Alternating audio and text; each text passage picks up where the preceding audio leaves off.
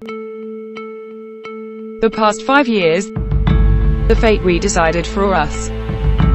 Corruption, literacy, potholes, poverty, waterlogging.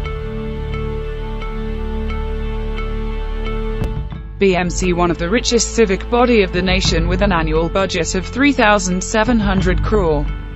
The pride has been overshadowed with many scams.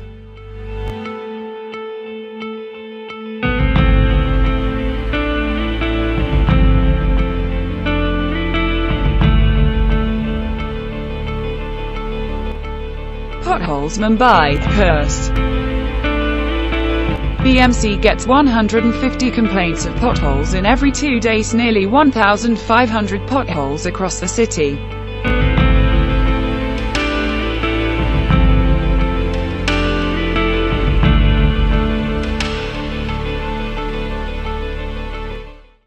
We live in a world where nearly 3 million girls are married by the tender age of 15.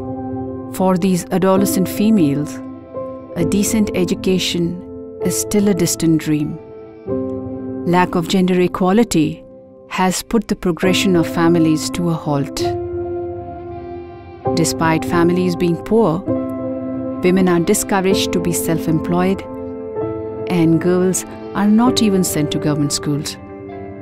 Women are kept away from the decision making process when it comes to the matters pertaining to the welfare of the families. मैं जब 11th class में थी, तब मेरी शादी की बात की गई तो फिर मेरी मम्मी ने मुझे सपोर्ट किया। उसके बाद मैंने 12th की 12th पास आउट करते के साथ ही मैंने लिटरेसी इंडिया ज्वाइन किया।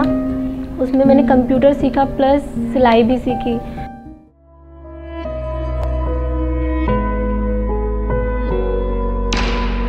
Mumbai is one of the city worst hit with drought since last five years. 60% of the population are the water crisis victims.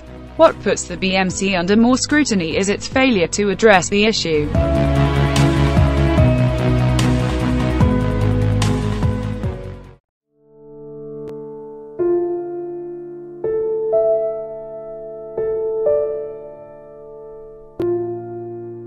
Poverty is not a new name to Mumbai and 72% of the population is facing it. 56% of the children are malnourished.